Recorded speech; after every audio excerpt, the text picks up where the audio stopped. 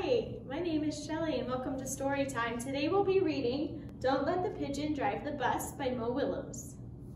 Hi, I'm the bus driver. Listen, I've got to leave for a little while, so can you watch things for me until I get back? Thanks. Oh, and remember, don't let the pigeon drive the bus.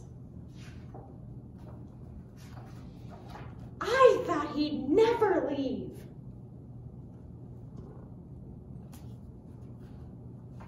Hey,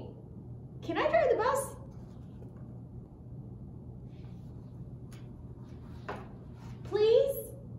I'll be really careful. I tell you what, I'll just steer. My cousin Herb drives a bus almost every day.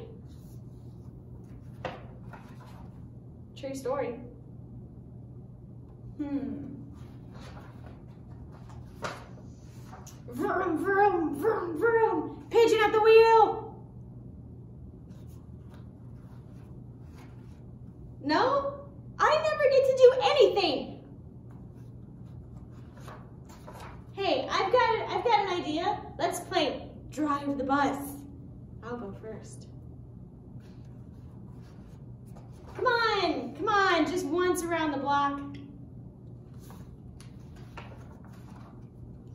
I'll be your best friend. How about I give you five bucks? No fair.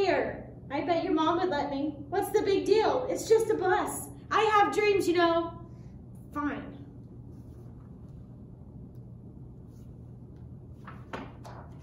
Let me drive the bus.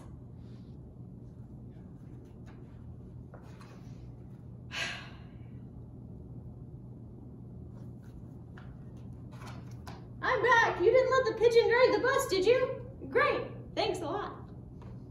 Uh-oh. Bye.